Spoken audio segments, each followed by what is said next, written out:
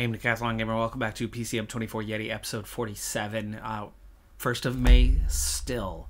The dossiers that I finished last episode up with are now into that next phase where I've gone through, I've analyzed our shortlist. I shortened it by half a dozen or so uh, that were just never going to be good enough amongst the prospects that were there and then started to make the decisions. Uh, from that point, I made a list of maybe a dozen uh, of the favorites, uh, the, the ones that I really would rather have. And also went over my list, my nine expiring contracts. I had already eliminated three of those from contention, but after comparing the other riders that were available in the pool, uh, it became pretty clear that three of those probably not good enough, one or two of them definitely not good enough. So uh, at this point, as we go to confirm our first dossier period, only three existing contracts, Zhu, Shui, and Lubers,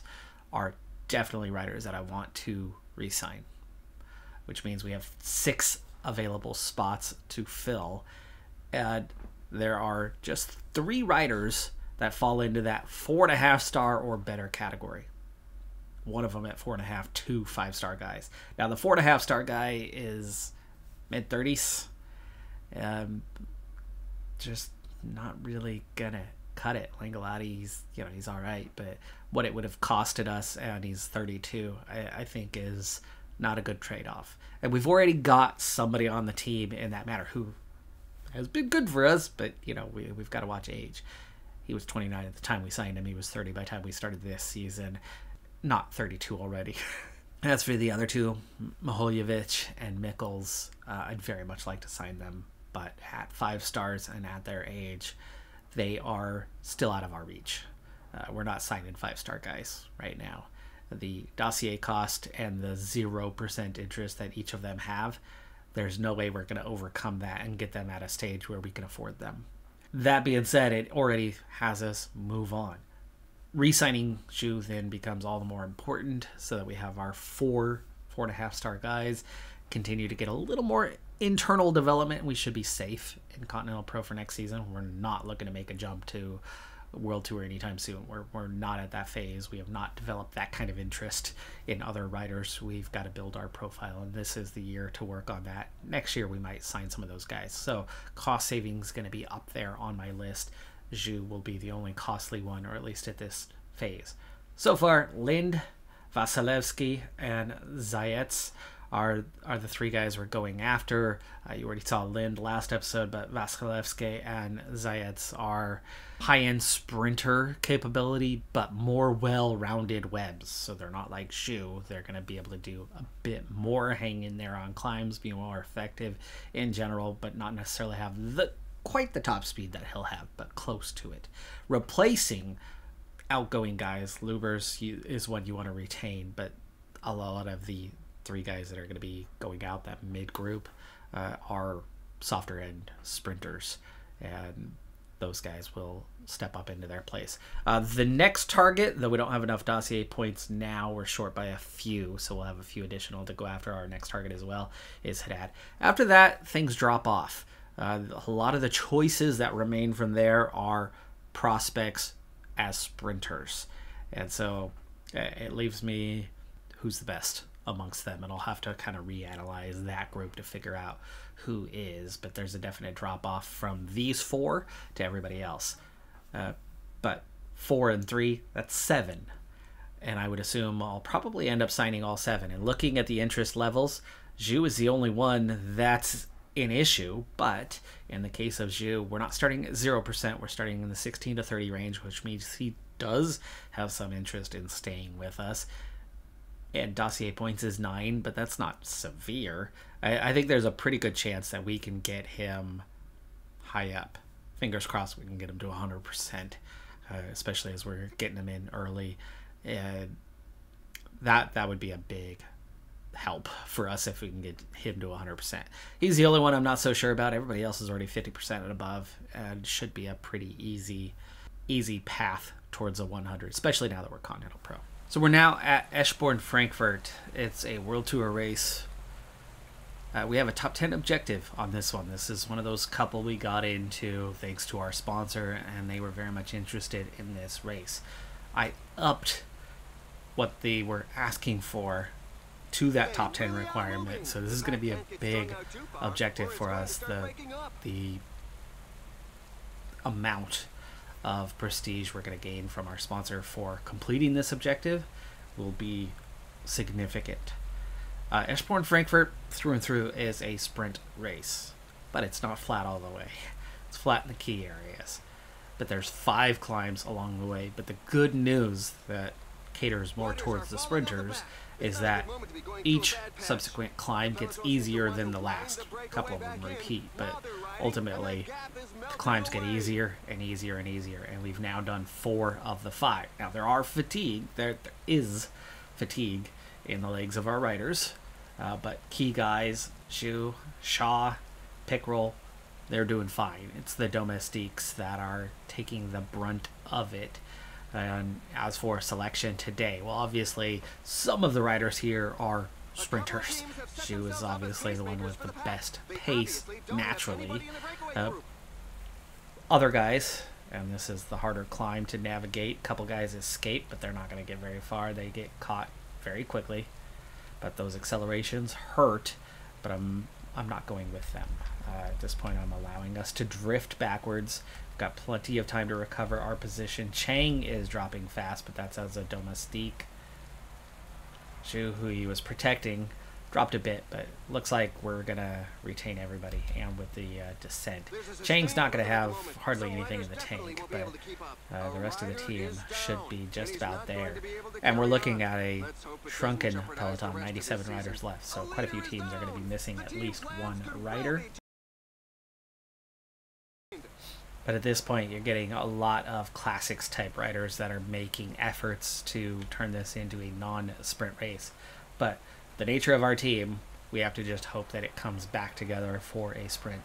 We are not the team that can control this peloton and uh, organize what's going on there. The breakaway, which had eight, still has seven left. Uh, they are a minute and a half up the road, and with 20k, well, they got a tiny chance, but it's coming down pretty quickly right now uh, big chase effort and you know more guys trying to attack and having their attacks negated. It's down to 40 seconds now with 16k. It's looking pretty good for the catch. But Chang is done. Hallinan is done. Uh, Lubers is going to be the weak man now, so we're going to gel up for him. He'll go first. And here comes the next acceleration. It, I think it's time to begin a response, but only gradually because, you know, uh, two guys are already toast, so there's only five to do this chasing. Lubers and G themselves aren't going to last very long.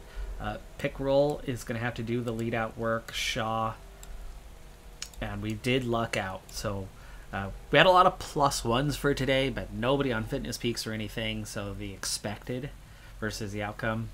A uh, couple minus twos offset with a plus four, and with a lot of expected plus ones, we're pretty neutral. But we we lucked out pretty well that the two best sprinters uh, have a plus two and a plus four, have that good positive race day condition to help us out. Uh, I'm, I'm, a little nervous about going this early with Lubers, but we'll only push a 90, and G won't push too hard either. And yeah, see, those guys are attacking, and right now there's not really a response. But 14 riders off the front is much too much to just let that be. And right now, it feels like none of these guys are chasing hard enough to uh, bother with them. 1K from the finish is the finish on. No, it's straight there, straight ahead of us. So, straight road, wide road coming in for just over the last kilometer. And we're still riders off front. We caught some there. Are we getting a mixture of lapped riders here? What is left ahead of us? Ooh, van der Poel, Mohoric, Bjerg. Okay, those guys that attacked are still there. Uh, we might be ri riding for fifth place right now. Oh, and G is done too. I just hate the fact that we're down to just three guys, though. Definitely a chance of the front four are not going to be caught, but I think the others will, uh, which means you got to be even th that much more on it if you're going to win. But as we get down to 4K, we're going to start speeding up here with uh, Pickrell. 3K, so 99. And Pickrell is going to start soft sprinting. And Shaw, that's a little early for Shaw. It's just the front four, just 13 seconds. That's them ahead, but they're already inside 1K. And here goes Zhu. I'm more worried about scoring the top 10 today than I am about getting a bunch of guys in the top 10. van der Poel hangs on, gets the win, but here comes 2, 3, and 4 with Bjerg, La Hoytza, and Mohoric. They do hang on. Uh, but Zhu gets seventh place. We do secure a top 10. We were third in the sprint. Third in the sprint's good. Uh, Shaw got 16th, so at least a few extra points there.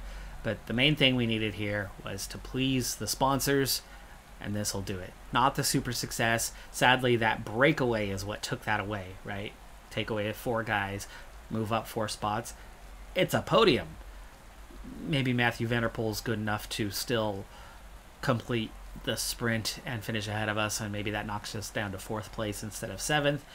Regardless, that still would have been a super success, right? Top five and above would have been a super success.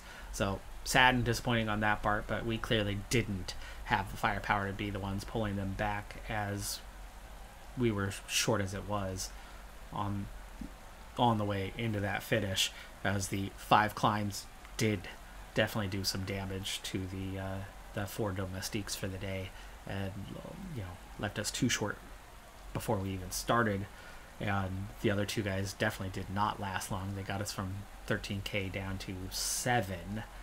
Uh, those three guys, but that left us a long ways to go for just three riders. And well, I guess we had a fourth, right? G gave us a couple kilometers in there before we got down to Pickrell. But yeah, tough day, but we got the top 10, got the job done.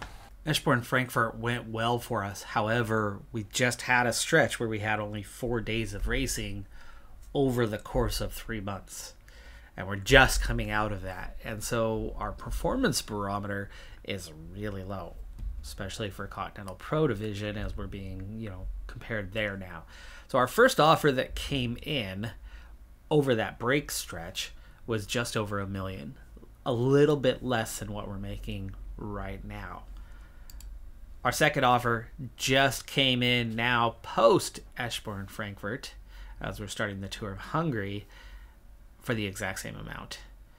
So even though we just had a big success to build our profile, to build our uh, our rating, yeah, it actually hasn't gone well. Uh, in all, we have four six star objectives, but the last one is after the deadline anyway. So we have three six star objectives rolling into the end of June. And from that, it looks like our best time to secure sponsorship for the coming year will be end of June, early July. Will probably be the period where uh, the most notable things are happening for a couple of reasons. One, uh, the sponsor objectives and, and having successes, hopefully, will get us where we need to be. But additionally, uh, I, I, think we're looking at a scenario where the national championships, of which Canada right is one of those objectives, crack at the top five in the time trial. It's going to take some work. I, I think having all the national championships and having a lot of riders from smaller nations in the pool should get us some results and suddenly make our visibility much higher uh, compared to others temporarily. And that's probably the period where an offer is going to come in that's a lot higher uh, than what we've seen otherwise. So have a feeling that that's going to be when we're going for our sponsor in the short term. Uh, we got to just sit back and wait for the tour of Norway and you know do what we need to do and get a top ten. Because despite being hundred percent successful so far, uh, our sponsors aren't terribly happy with us. Three successes, a super success for one of them, right? A win when they wanted a top 10, and yet not much doing with the sponsors. Uh, getting that 15 races will certainly help us. And I don't know where we're at on total wins for the season, but I think it's something along the, the lines of five or six. Uh, but if we can grab a like six easy wins at national championships for a few guys that are dominant in their nation, that can go a long way to you know doubling our our total and getting us just about there on that win 15. But we definitely want that to happen uh, at this phase. So we, have got to grab a few more wins along the way uh, on our way to that objective. And if we have to, we might have to throw in a couple weaker races in the calendar just to help boost that if if need be. Oh yeah, we're not even anywhere near six victories yet. We're at three. Derek G has two wins on the season so far, and Ponomar has one. A good performance at the Tour of Hungary is going to come down to two stages, two punchy stages, stages three and four. This is stage three. We have three circuits on a double climb. That was the first climb, short and easy. You descend into town, and then we're going to turn right around and head into the second climb, which is definitely steeper and has a lot more going on. Sprint point there, turn right, and we go up. Uh, from here, you're 5K from the summit, but we're also approaching the uh, finish line.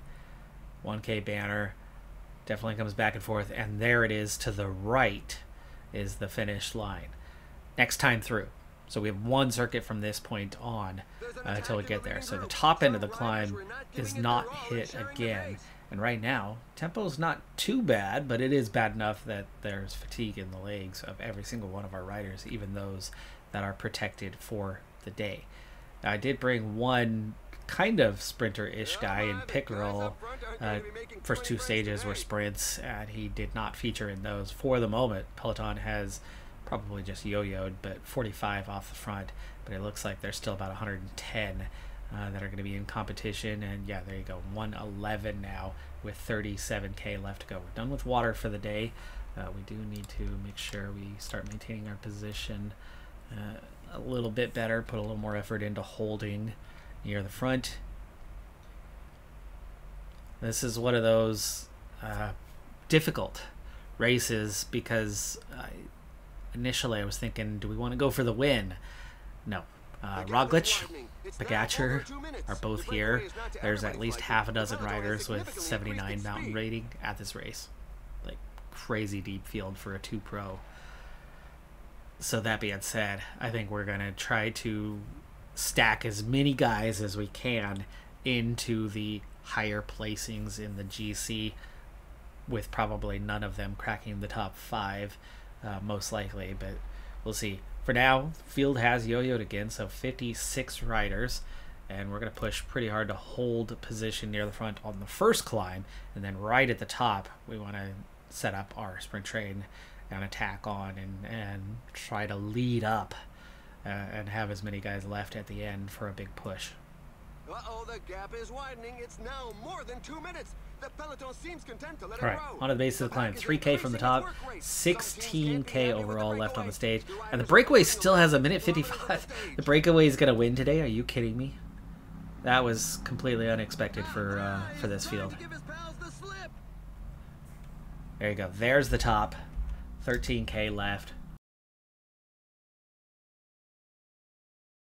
We're going to start by trying to get Pickerel into position. And we, we are going to push pretty hard. A lot of teams on the other side, but this is also where the space is, so let them sweep on over. And we're looking pretty good on almost everybody's in position. 10k to go.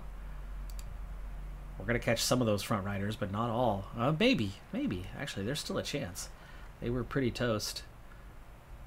8.7k though. So we've done well to set up, you know, four or five guys for the finishing climb to be in position, to be well placed. And then there's just the 48 in the peloton, which also sets that part up particularly well. Uh, but Pickerel, despite a 99 effort, it's not great as a downhill rider. He's today a 69. Uh, definitely going to catch the front three guys, but I don't know if we're going to catch them all. Let's go. Four and a half K to go. Pickerel, try to hang on. 4K. It's gel time for everybody. So Giotti pushing on, pushing hard, trying to catch those front three. On a Montez, who's going to do a 97. Giotti try to follow. 49 riders left, chasing three, and we're about to catch two of them. 2.3k out. Uh, Montez is definitely doing some damage. We've caught everybody now. 99. This is the let's just set up everyone as best we can, and right now that's what's working. Good on. It's not Pogacar coming through there. One, 1K. 1K. Let's go for it. Huh? Let's go for it. Ponomar leading out Haglin. There's the right-hander. Haglin's going to come through at the front of this with, here comes Pogacar. Uh, can we podium, though? Englehart's going to come through with the extra energy. It looks like we are going to podium, which is much better than expected. That's a time bonus for Haglin. Pogacar gets second. Uh, Ponomar fourth. So very well placed with two guys right there. Wang is also very highly placed. Are there going to be any time gaps right now? It's been 12 seconds. There might be after the front five. Montez is up there. There's likely gaps, and then Giotti uh, at the tail end of that before you guarantee gaps to guys over a minute down. Uh, but we've got four riders in the top 20, and we managed to get somebody to uh, grab some seconds. This this was a good outcome typical names near the top of the list, but Hirschi was only 8th, Roglic was only 10th, uh, Sosa 13th, Simon Yates was 16th, Mohoric was 20th. That, that worked out pretty damn well for us. So on that last stage, 26 riders ended up on same time, which is good because that really limits the field and puts us in a pretty strong position. We only had one of the riders who missed that one, and no surprise, Giotti was definitely slipping off the back. In fact, he was. There was the two groups. There was the the first group on the same time as Pickrell gets dropped here. He is done. He's out of energy, and there's the chase group trying to catch the peloton that now has just 39 left. I'm liking that there's just 39 chasing. However, the breakaway still has a substantial advantage, down to five riders there, uh, and we're definitely down to less firepower to chase them with heftier climb at the finish of this one. Uh, luckily, Haglin's got a plus three today because as a team, we we got a minus three draw compared to the expected. I've got two domestiques that had this as a fitness peak or as an objective and had plus one on the expected. So, um, not a terrible draw or anything. Minus three is pretty dang neutral. But now just just inside 20k left. Two minutes to that front group. It was three just five ten k ago, and it's down to a minute and a half. So we are coming pr back pretty quickly at them, but it's definitely not a given that they will be caught. Uh, Giotti and Wing are not going to last long, and that, that means I've got three guys to try to navigate about 12 kilometers worth of climbing, other than a little downhill section. It's broken up into two different climbs here, but yeah, this is this is going to be tough to uh, hang in there. This is not a puncher's day. It's medium mountain type territory. And yeah, I think we're going to have a hard time. We're going to gel up Giotti already, Wang now to try to hang in there for that little bit longer to give us some support, but we're going to have to up the uh, climbing legs for these guys to hold position. There we go. 10 and a half K to go. We are climbing. It's a little shorter than I thought it was, line. but 10 and a half K is definitely not easy with the likes of Pogacar and Roglic and Yates and, you know, a lot of quality in this field for no, no, no, no. I, uh, hmm. I'm at an 83 and I roll up and it rolls to a 71.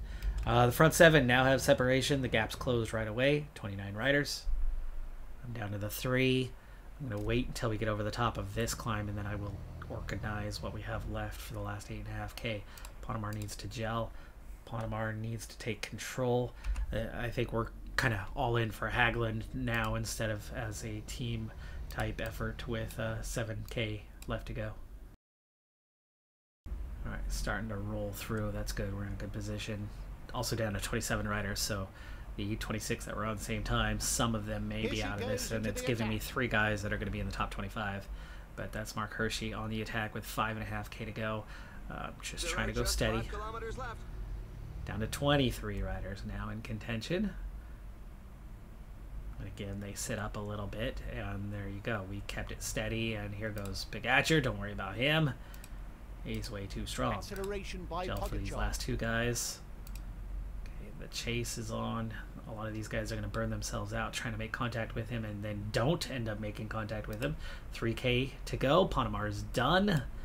Ponomar is done. He's going to lose some time here, but he's still going to be well placed. Down to 20 left in contention, by the way. Montez is nearly done. But he's set up Haglin well. Haglin's only got 1.9k to go. And he's in a good position for a top five here. 1.4k. that 85. that 87. 900 meters. 900 meters. 500 meters. Haglund, go, buddy. Go, buddy. Come on, come on. Give me a podium. Get me a podium. Two days in a row. He'll be third overall. He'll be second overall, probably. He'll be second overall. Pogacar is going to be in the lead. Um, the race leader is not around, and there's time losses here. Haglund's going to be second overall behind Tadej Pogacar. Montez is going to be about 16th overall, and Ponomar is going to be out 17th ish overall, uh, maybe 20th overall. Uh, that's going to be good for points. Good for points. Dot Pro race though, we've won run, Dot Pro races, but really Haglund's won what one overall. Otherwise, we've been just nabbing stages here and there. So second overall behind Pogacar when you've got Roglic and Hirschi and Tiesj Benoot and Sheffield and Schelmoza and who else do you want to throw? Vasek, like there, there's just Egan Bernal eighth. So much quality in this field, and that's a great result. And that's without fitness peak bonuses. Haglin did secure a couple, what plus three on each day. He lucked out on that. We lucked out on that, but it's not like the sport was any good. Nobody else had a positive race day condition. Front 12 had same time, even though we saw plenty of gaps, but it was a punchy stage, I guess, so it really takes more of a gap. Roglic losing half a minute. He's where the gap began. Wow, Montez comes in at 53, though, and a minute 45 to the Ponomar group, which included Simon Yates. That is crazy. Engelhart was 215 down. Haglund is without a doubt going to be in second place with two time bonuses, eight seconds gained. Uh, clearly will be the leader. So there it is. Pogacar leads. Haglund's eight seconds behind. Burkmo's at 10 down after a second place finish. And only nine of the initial group from before. Montez is 14th, a minute nine down. Ponomar is 18th at 201 down. Yeah, that that that's going to be decent points for us. That's going to be real decent points. Uh, considering the depth of this field, even though it's a pro race, is that's a really good result. Burkmos with a 70 sprint somehow managed to get third on the stage, dropping the final stage, by the way, dropping Haglund to third place overall.